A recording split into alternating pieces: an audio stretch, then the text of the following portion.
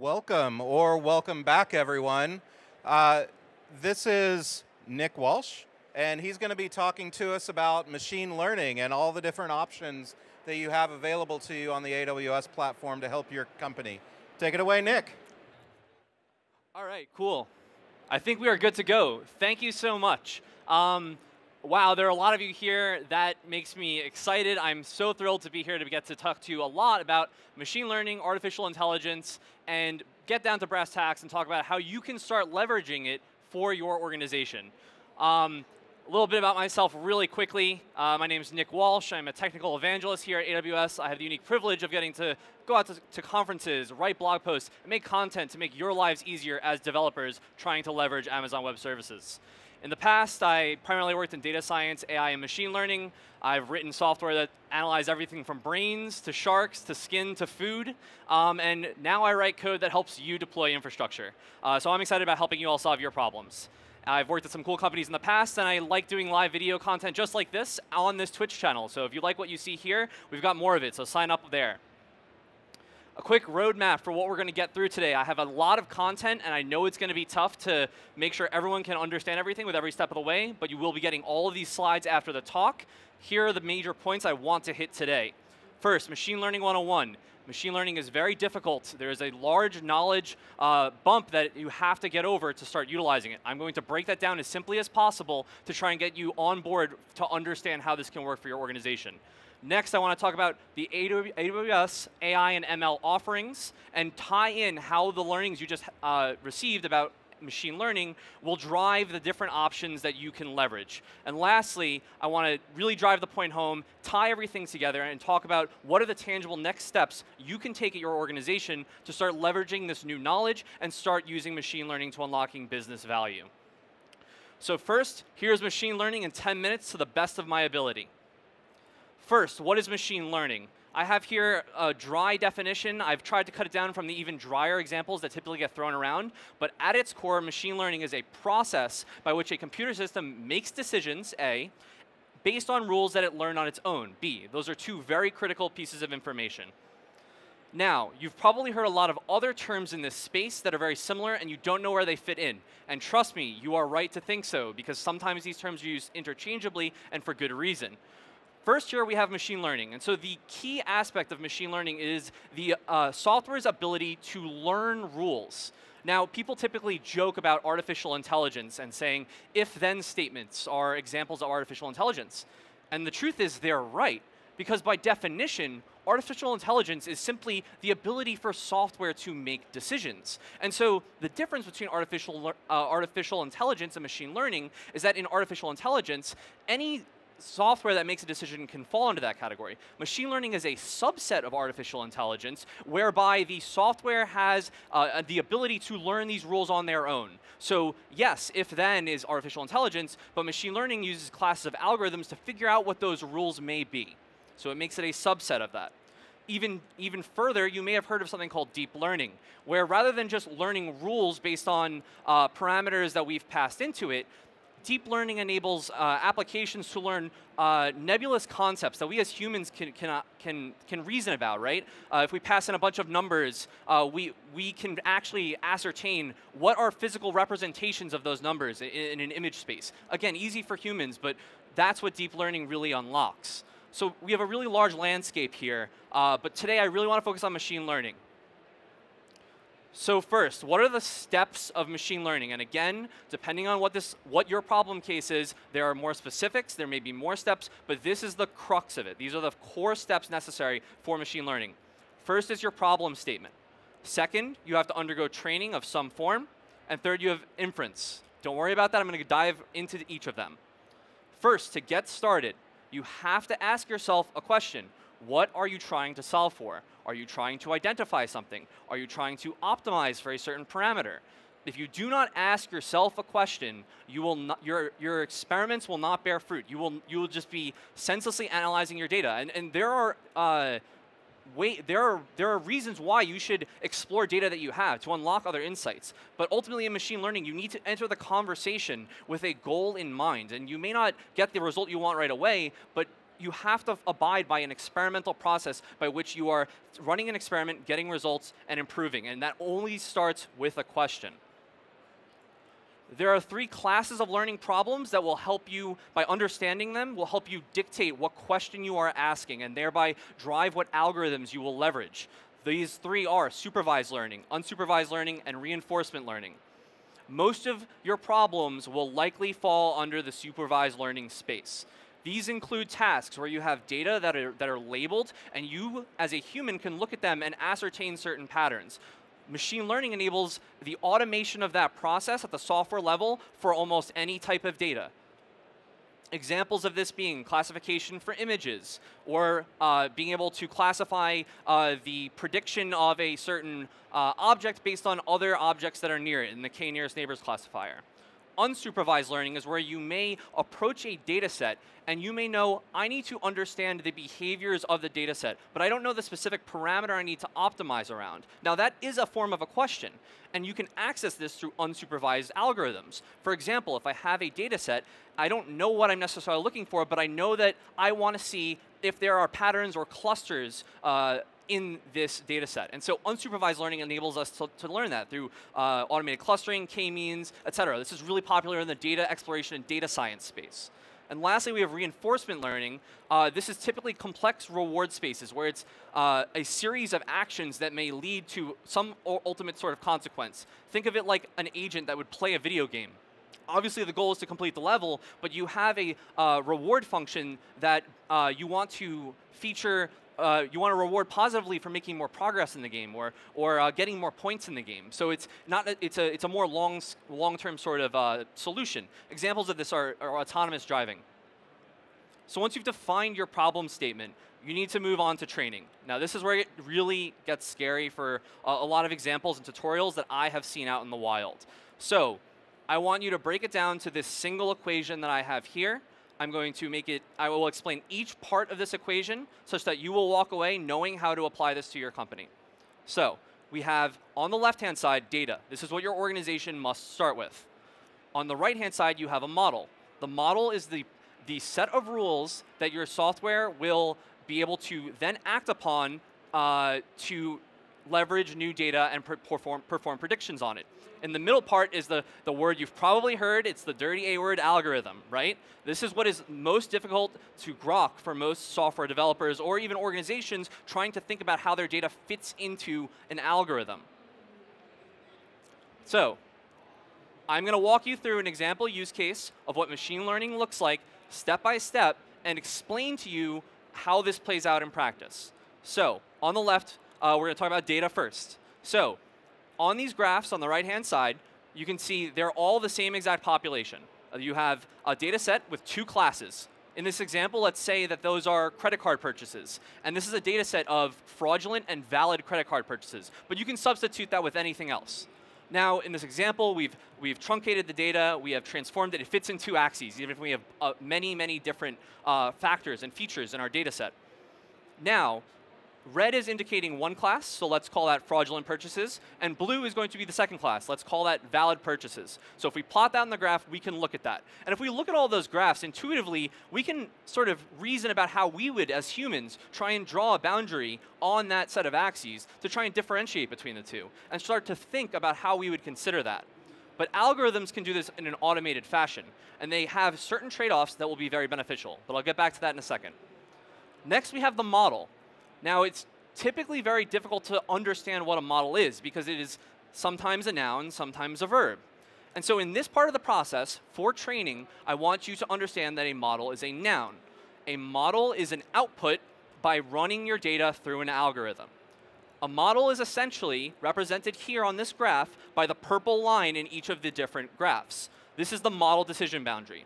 This is very easy to understand in a binary classification example because essentially what it means is that on one side of the boundary, it will your model will be predicting all data points within there to be one class, and on the other side of the boundary, it will predict them to be the other class. So essentially, your model in this scenario is just a line. It may be a square like in the decision tree. It may be a, just a regular linear line like in the logistic regression example, or it could be something uh, much more abstract like the SVM with the Gaussian kernel. It is The model is the decision boundary by which new data points will determine what the inference is. So if I feed it a new um, data point, it will classify as either valid or as fraudulent. Now, what about the algorithm? Where is the algorithm represented here in these graphs? And the answer is that it is not, because the algorithm is not an object or a property of your data or the resulting model, but it is a process that will, that will generate the model. So it's not actually visible here, and this is why it's very difficult for people to understand really where algorithms play in here every algorithm behaves differently, and much like sorting algorithms that developers are also uh, aware and, and, and, familiar with, uh, each has inherent trade-offs, and understanding those trade-offs is what will ultimately result in a higher accuracy model, more efficient training times, or scalability with respect to certain parts of your data.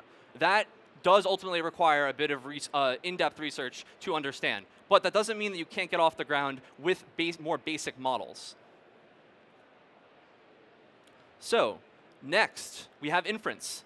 This is where the magic happens. This step is where the value is driven to your business. You can train a model, and the output is a static blob. It's, it's an equation. You can't use anything with, with, a, with a CSV with a bunch of uh, numbers in it. What you need to do is you need to be able to perform inference on new data to leverage that rule set that we just created automatically using machine learning, and that is what enables you to tie in that predictive power into your applications. So in the second step, we are going to start with data, but not labeled data. You don't understand what this data has.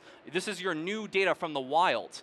Let's say a new purchase. You don't know if it's fraudulent or valid. You want to be able to predict on that. So your output is the prediction. You want to classify this certain object. And the model here, it was a noun before, it gets loaded in and can be used to take in data and perform that prediction. So going back to these graphs, again, uh, fraudulent and valid credit card transactions. So first, what does the model essentially represent here? So I mentioned before the decision boundary in purple. But to understand what this really looks like, I've colored in the, decision areas for the two different classes here based on the results of those uh, machine learning algorithms. So in the SVM, everything in red in, on that side of the decision boundary, if I put in a new point piece of data and it, it maps to anywhere in that area, the model will predict that the purchase was of that class. So if we said red was fraudulent, it will predict fraudulent. Now it's important to realize that if you actually look very closely, uh, there is a red data point from our training set that is on the blue side of the, uh, the decision boundary. And this is very important. There's the concept of overfitting or underfitting, where certain parts of your, if you overtrain your model to your specific data set, it will do a really good job of predicting the data you've given it, but it may not behave well in the, out in the wild. This is something you'll learn over time, but again, is not something that I think should hinder you from being able to get started with these, with these, uh, with understanding these machine learning models. So, in just about 12 minutes, I have gone through machine learning, all of the things that are involved in it, and the different steps. So I've talked about them all independently, but I'm going to take an extra minute here to uh, nail down exactly how this process works from beginning to end. So you start with the problem. You consider some sort of optimization parameter or some sort of question you are asking by which you need to experiment and get an answer for. This parameter, this question determines what type of algorithm you're going to feed it into. Do I want to know what other uh, pieces of data are similar to it? Do I want to be able to identify something based on the class I'm assigning it? Do I want to be able to perform uh, predictive analytics in time series data? This question will drive what algorithm you are using. Traditionally, you already have data, and, and if you don't, a question can drive what data you acquire in order to build your model. So as a part of training, data feeds into an algorithm, results in a model. Then, once your model is, is created, uh, you wrap that model as a function by which you can then feed new data into it, just like any sort of microservice or an API that you already leverage, and you can gather predictions. So 12 minutes, end-to-end -end machine learning, that's the core, that's the core basis of it. So hope that was not too dense, but uh, I think it's a necessary primer for talking about how all the services fit in. So how does this play into AWS? So our mission at AWS is to empower developers to be able to use machine learning. And we understand that developers out in the wild are not all research scientists and PhDs. But that doesn't mean that you shouldn't be able to leverage the power of machine learning. And so we firmly believe in customer choice. And what this means is that we build uh, options to be able to allow you to leverage this technology regardless of your skill set and all the way across the stack. And there are certain optimizations uh, that will enable you to do this extremely efficiently, where everyone doesn't need to use the exact same uh, tooling depending on your use case. So to accomplish this, to build all these options, AWS has built the cloud with the broadest and deepest set of ML capabilities. But you don't have to take my word for it. You can just ask our customers.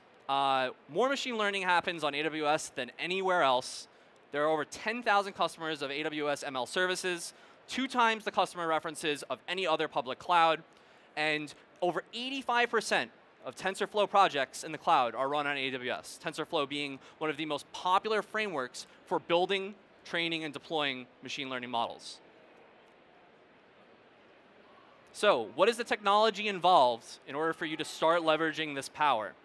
So at Amazon, we, we figured, okay, well, th this is this is really transformative. We need to build out a new stack. We need, regardless of what uh, entry point a developer or an organization has, they need to be able to set. We need to predict a set of assumptions, and they can get their output, which in every case is going to be some sort of prediction.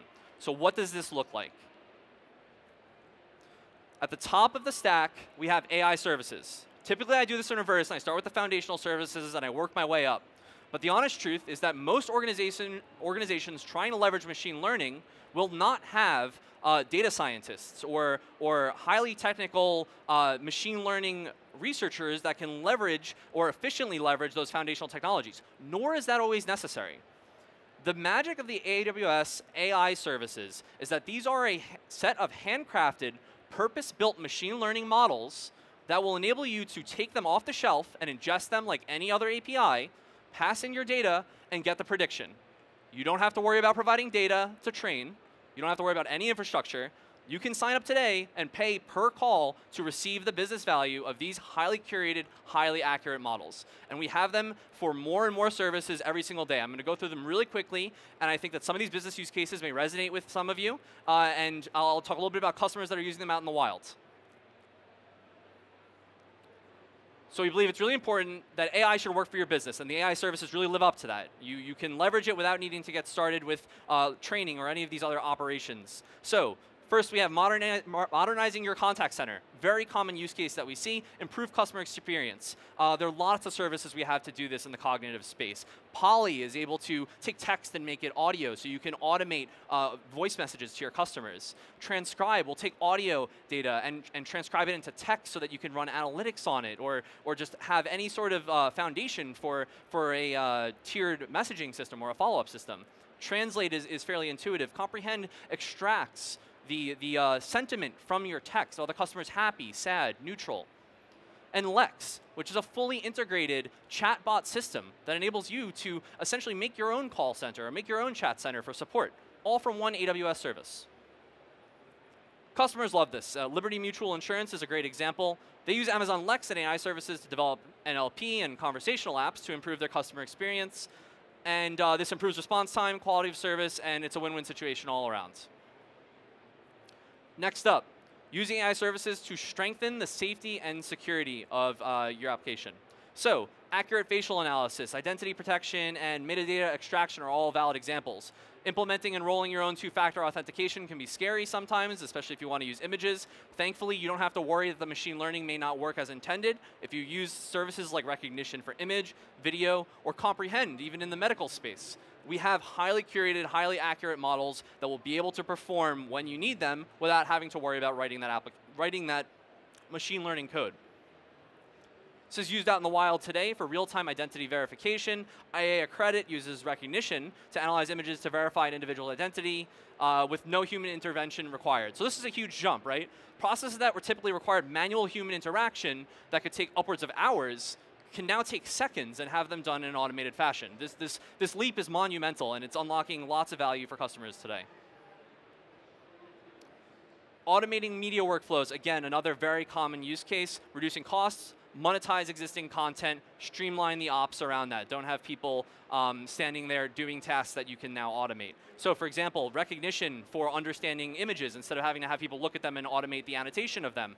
Rekognition allows you to detect labels in images comprehend again for sentiment. Uh, one of my favorites is Textract. Textract uh, is, a, is a wrapped, purpose-built service for OCR, optical character recognition. No more do you need to manually write down the content that is on forms. You can actually scan that and run it through Textract, and Textract will intelligently extract all of the metadata from that form, and it won't just do it in a way that's a jumbled pile of text. Textract is built to actually return proper JSON and structured data from the forms that you have. We can do this for tabular data. If you print out a spreadsheet and then scan it, Textract can actually natively return that as, a, as an object. It, it's really powerful and it's doing some amazing things. So C-SPAN uses this. C-SPAN runs uh, extremely long hours uh, of video content, and so processing that video content is, is very laborious.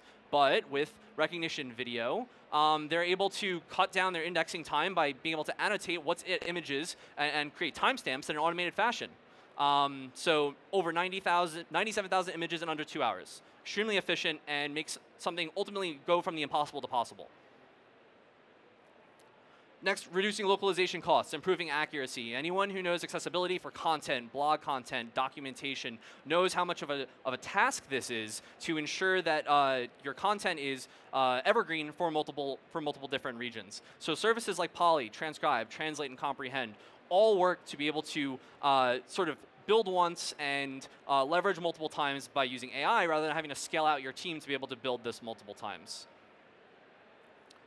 Lionbridge uses this to scale real-time translation, uh, as well as being able to uh, translate into multiple languages. Again, something that requires extremely specific knowledge to be able to have translators, as well as the ability to, um, a, a, high cost of labor to be able to employ those people uh, and have them there when you need the translation done.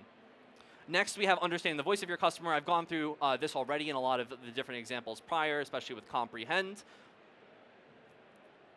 VidMob uses Rekognition and transcribe for metadata extractions and sentiment analysis. This is very popular with reviews. You can automate the analytics around how customers are feeling about certain products, not just using a starring system, but you can actually get nuanced information about the words they're speaking about you. This is really valuable if you're trying to leverage analysis of data on platforms you don't have control over, but you can still scrape the data for, it, for example. Next, personalizing customer experiences. So, th so this is a big one, and it's really hard to do traditionally. Um, everybody wants to be able to have a process that is tailored towards their expectations, towards theirs, their experience, or prior actions they've taken. I think the worst thing in the world is when you call up, like, let's say, uh, your credit card company, and you were just on the phone for, you know, 20 minutes going through a, a chain, and you, you get transferred, and you have to go through the same chain all over again. Well, personalize and some of these services um, help to resolve that. So Personalize is a service that enables you to uh, perform recommendation engine out of the box as a service over an API. This is the exact same technology uh, in recommendation engines that powers Netflix or whatever your favorite uh, video platform is that recommends videos.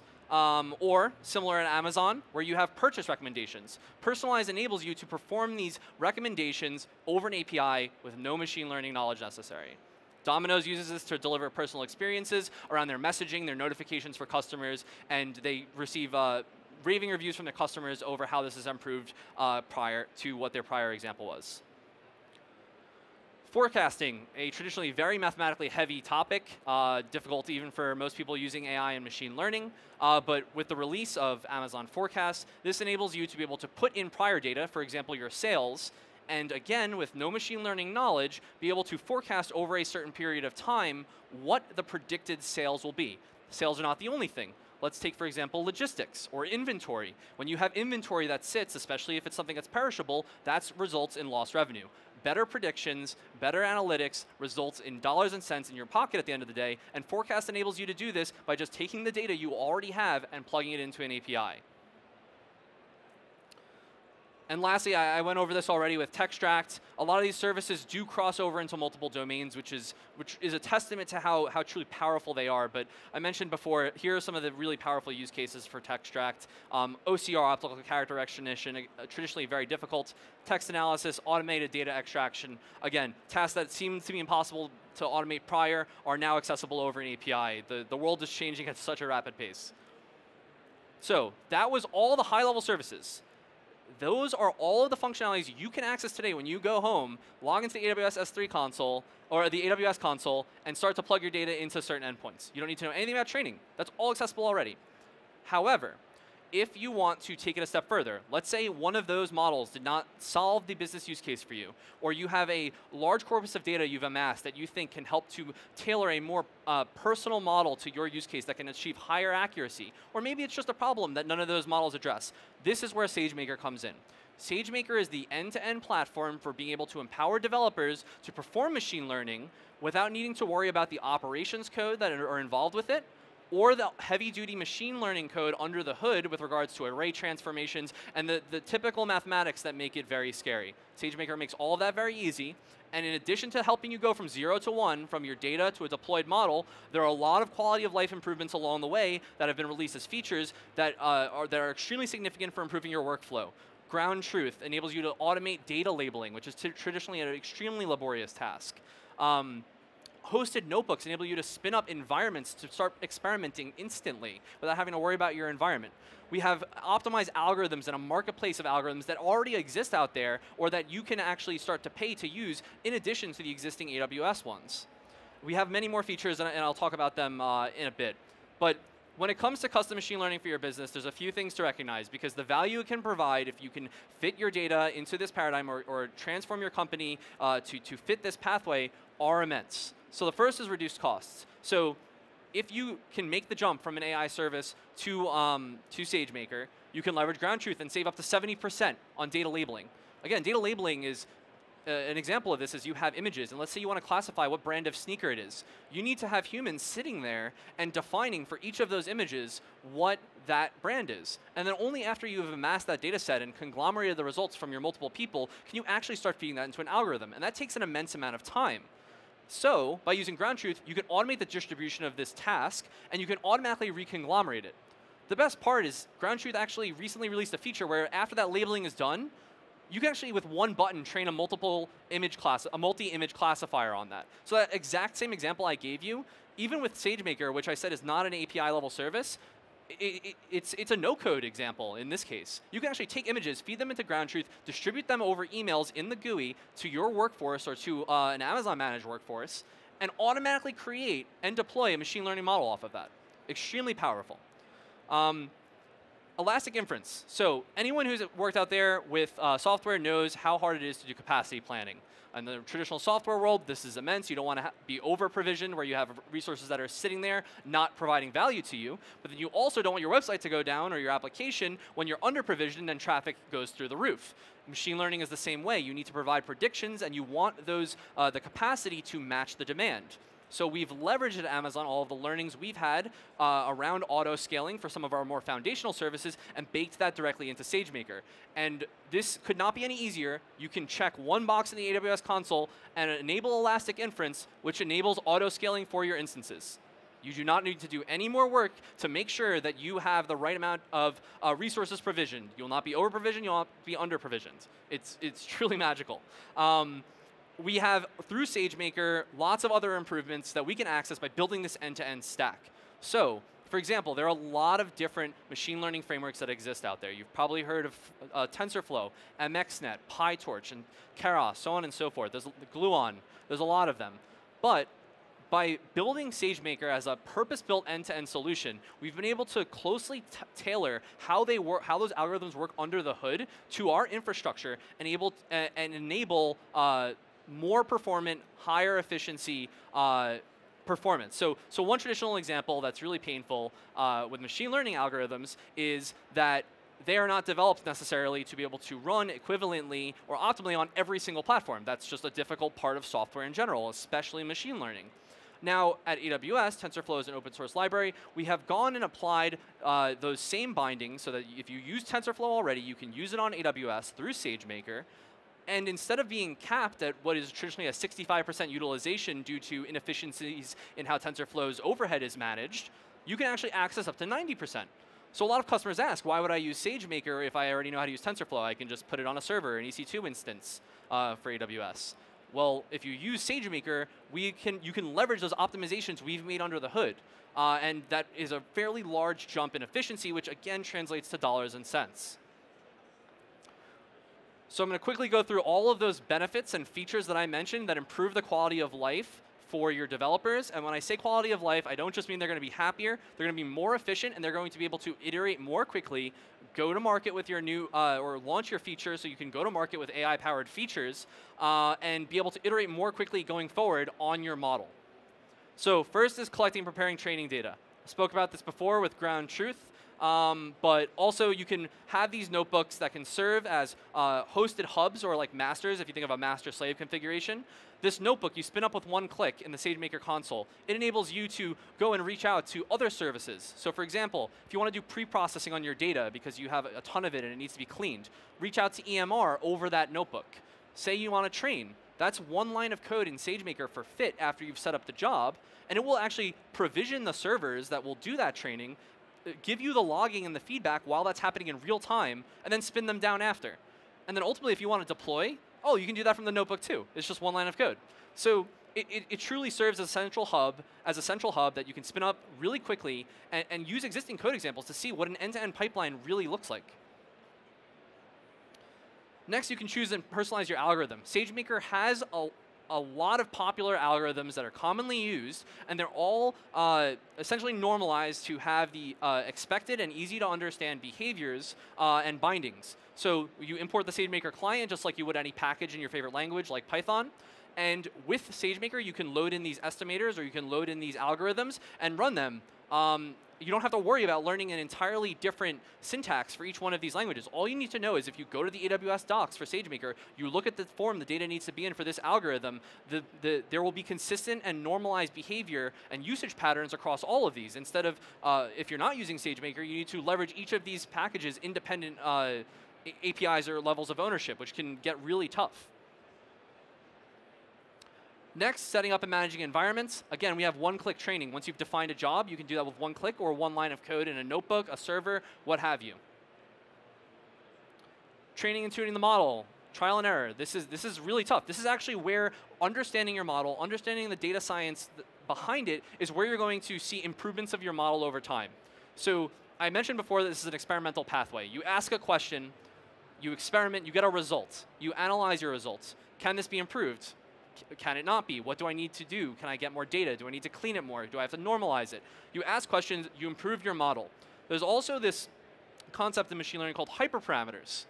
Really scary word, I know. Really, all it means is that I mentioned before an algorithm is a function, right? Performs a transformation on your data that outputs a model.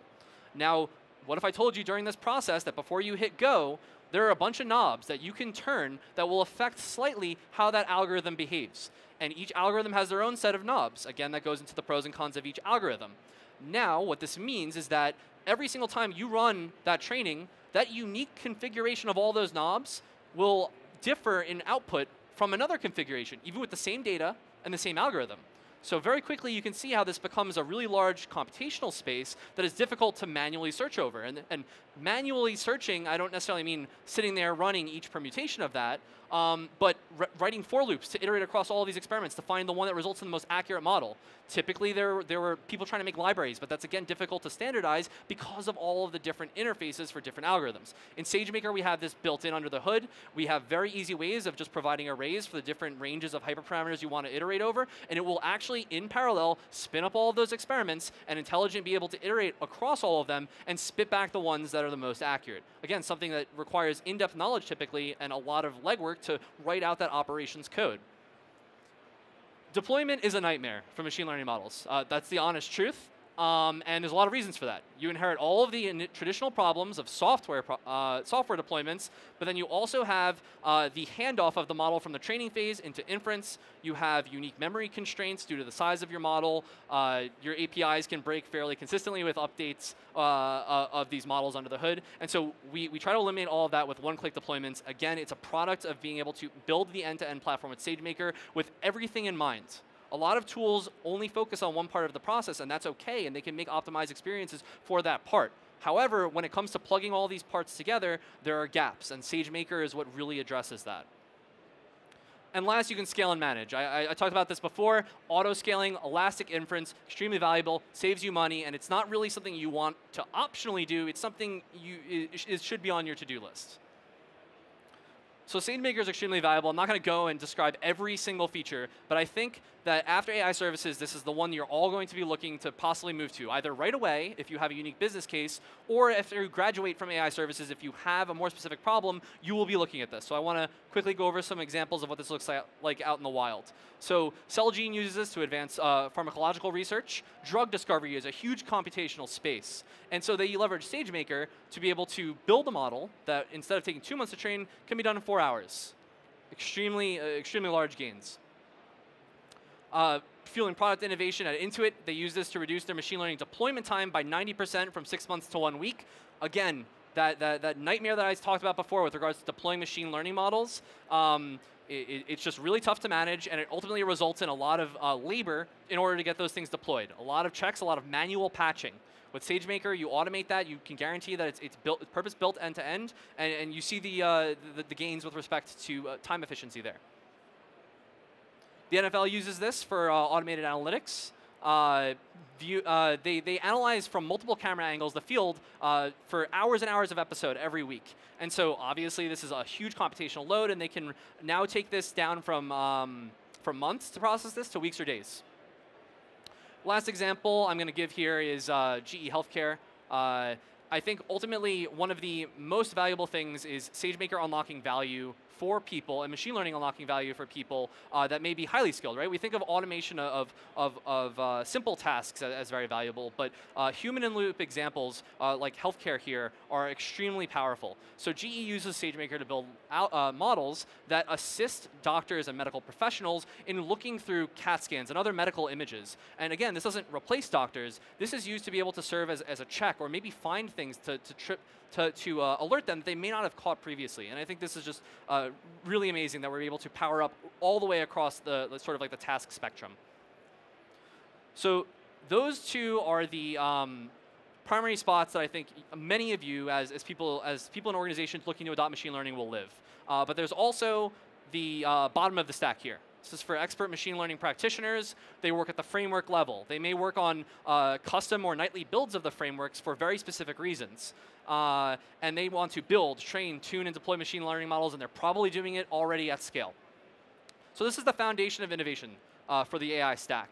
And so even if you're using the services above this, it's important to note that all the innovations that we do here at the bottom level of the stack are actually seen by these speedups and improvements in SageMaker, in AI services. And you're going to see that when I talk a little bit, uh, when I mention the diagram later about how to choose which service is best for you. We focus on performance, flexibility, and reducing costs, and we, we think this bubbles up directly through the higher level services that many of you will directly be working with. Okay, so we've gone through Machine Learning 101. We have gone through uh, the AWS offerings and how those apply to the knowledge we've learned. And now I want to leave you with tangible steps so that you can move forward, tie this all together, and actually start asking the questions and implementing uh, the, the, the, what's necessary to begin using AI and ML at your companies. So it's important to note, uh, in the last talk, someone said, like, what's the answer here? It depends. Machine learning is the same way. It's no different. I feel like almost every instance in software is probably has the same answer. So in machine learning, there is no one-size-fits-all solution. As I mentioned before, you can see for the same set of data, we could all reason about how we wanted to draw a decision boundary between those two points of data. Every algorithm will have a different interpretation of that data based on how that algorithm is designed, and as a, as a function of what your business use case is, what your constraints are, which I'll talk about in a moment, it is important to figure out all of those questions and then move forward. So the ideal solution for your organization considers the intersection of these technical specs. First is latency. How quickly does your uh, application or your customer expect a response or your service from whatever is performing this machine learning prediction? Certain models will take longer to run, but may be more accurate. Again, this is a direct trade-off that you have to make as a company, and it's not always that you choose one or the other. There are ways to intelligently actually tier your models such that you can have some sort of uh, leveling system to where certain requests are routed. But it's something you have to ask yourself. Next is cost. Again, longer running tasks, longer running predictions, longer running training, which may result in higher accuracy, does cost more money. Is it worthwhile to train something for three weeks to get 95% accuracy if I can train it in one day and get 90%? There's no clear answer there. It depends on your organizational's needs. Next is scalability. Um, depending on your choice of how you're deploying your model or uh, the, how, where you are choosing to deploy it. Obviously, a cloud service is one thing, but IoT devices, uh, running locally on other sorts of devices. Th there's lots of different things that you need to consider with respect to scaling it, uh, typically horizontally. last is customizability. Uh, this model that you have, how quickly can you go and, or this model that you get, or the API service that you're looking at, how customizable is this to your use case?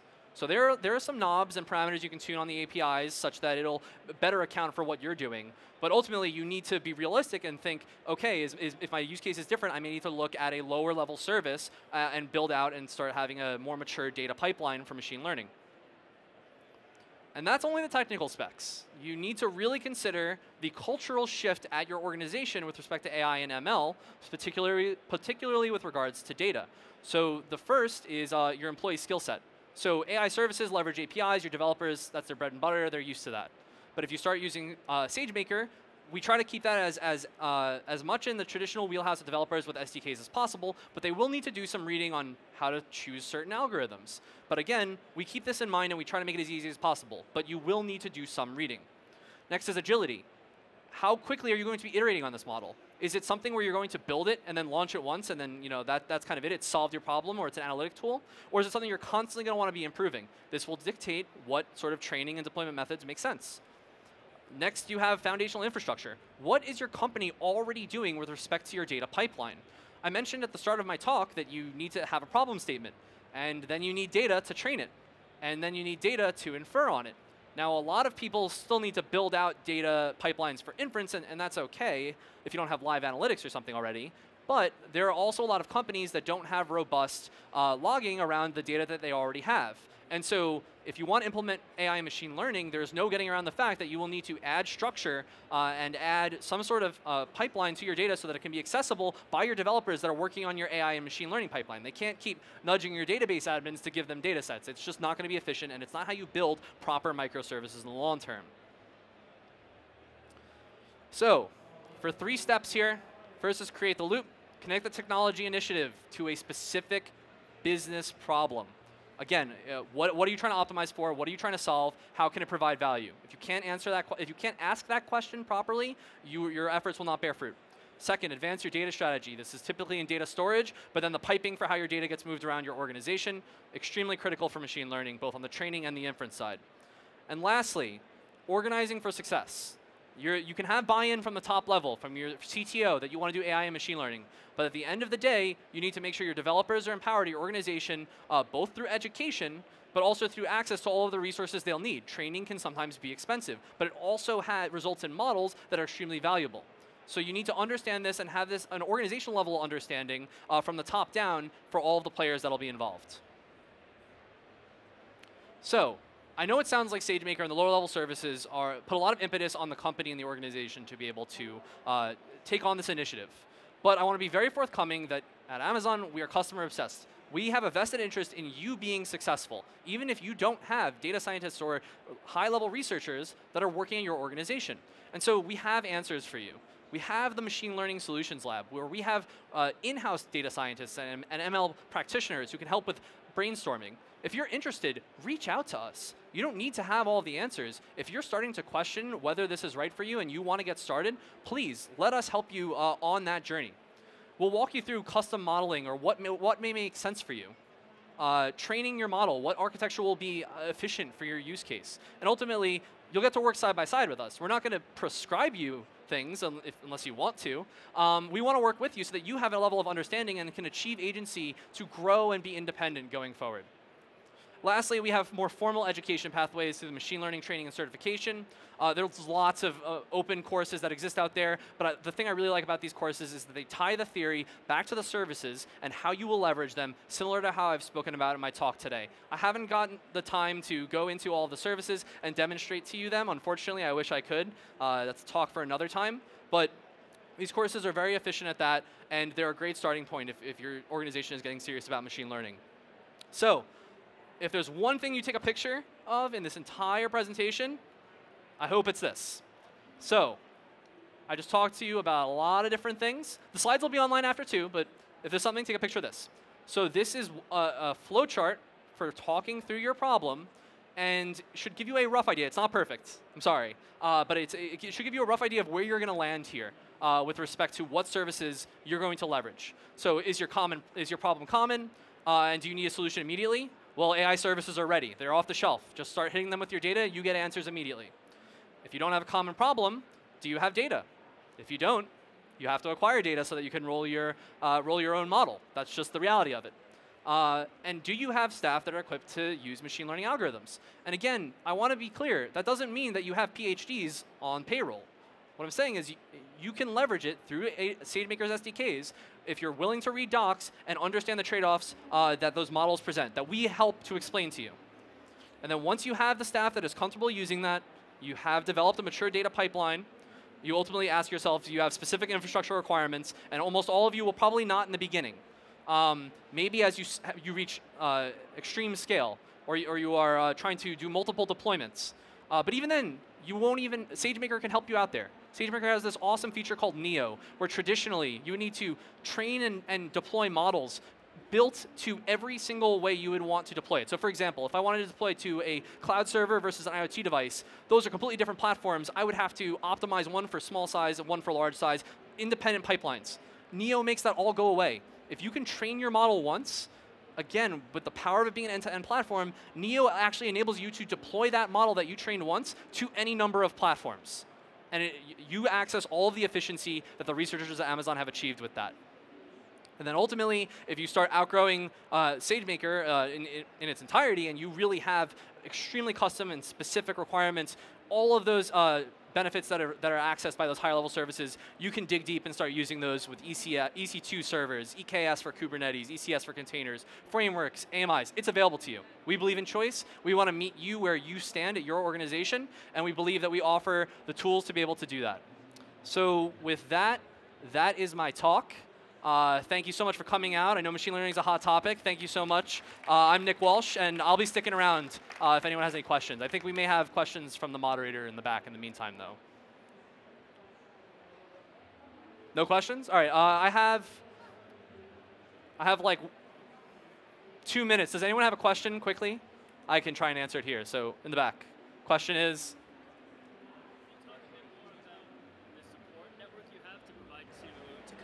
Uh, Sorry. Can you can you speak a bit more about the support network you have for companies to help advise um, our developers, and also, if you have time, speak a bit about the uh, data lakes or, or um, places we can put data that can be used by your platform.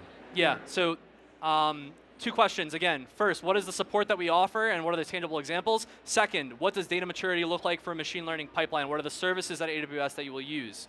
First, I mentioned the ML Solutions Lab. This is a more formal program um, that you can reach out and, and, we have dedicated subject matter experts, SMEs, to help with that, all those steps I mentioned prior. In addition to that, as a part of our enterprise support, we have solutions architects, SAs, where their job is to be assigned to you as an organization to help to know your architecture inside and out and be able to have all the context necessary to advise you on architectural needs, architectural uh, like systems design, and actually help you build some of that.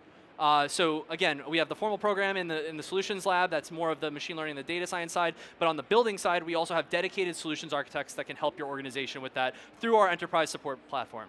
Uh, next is what does what do the services look like for data lakes and other uh, data maturity pipelines? Uh, so the most common one here is going to be S3.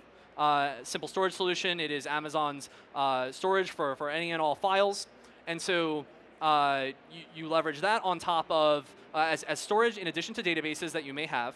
And in terms of pre-processing, which is something I didn't get into today, uh, you can uh, also leverage Amazon services such as EMR, Elastic MapReduce, uh, to be able to distribute transformations on data before you plug them into your, uh, to your algorithm to be trained. So there's a variety of services on the analytics and storage side. Uh, I just gave a talk on how you figure out what machine learning is right for you. I run an entire show on Twitch about how to figure out what database is right for you. So uh, I wish I had time to talk about all of it, but um, a talk for another time, data lakes and, and uh, data maturity pipelines. So I have time, I think, for one last question. Does anybody have any, any brave comments or questions?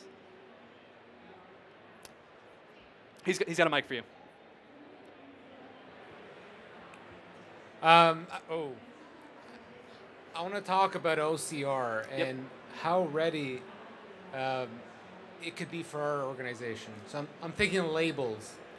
Yeah, so um, just gave a talk about this last week on Textract uh, for OCR. Going a little off script here, but let's see if I can get it up. Because I, th I think seeing the pictures and seeing what it can do uh, is, is, a, is a very strong testament. So again, Textract OCR, optical character recognition. Uh, this is a class of software problems in machine learning by which you, you feed, uh, this algorithm already knows what characters look like, and you want to be able to run that algorithm on your given, um, on your given data to be able to extract the characters from an image. Very difficult, but Textract uh, is very powerful. I'm going to show you this. This is a presentation I gave last week, actually. You can see that, right? Cool. So you have a table, right? So you have some stuff printed out. So traditionally, with OCR algorithms, you will just see all of this text. It, the, the algorithms all typically run left to right and will jumble all of the characters that it detects all on top of each other. Now you can write, write your own regex, you can write your own formatting, but again, extremely manual, extremely fragile, brittle. Textract automates this. So what you get as an output of running a, a, an image of this table, again, this isn't hierarchical data, that, structured data we're plugging in. This is an image. The Table is recognized, the words are grouped by cell, and you get structured JSON data as an output wonderful. Like this, this, is this is like truly magical. I know I'm like raving about it, but if anyone who has worked in OCR in the past knows how difficult this is, nonetheless to build a generalizable service that will work out of the box for your use case. Everyone has tables. Everyone has uh, random forms, right? So let's look at that. Let's look at something that may not be as conventional as, as a table. So here we have a, a bunch of different wildcards. You have parameters underneath instead of on the left. You have various types of, of marking, so an X uh, for, for no data, I presume, unless their middle name is actually X. Uh, you, you have all sorts of wildcards here, right? Like, I could think about if I knew my, this form in my organization, and how I could maybe um, build regex to be able to format this out, out of OCR output if I got really good at it. But guess what? Textract does that out of the box. So, you know, if you have data that looks anything like this, uh, I think the results speak for themselves. Uh, but it would be glad to talk more about your use case after over at the booth uh, and, and to talk about what this looks like for, for, for your data.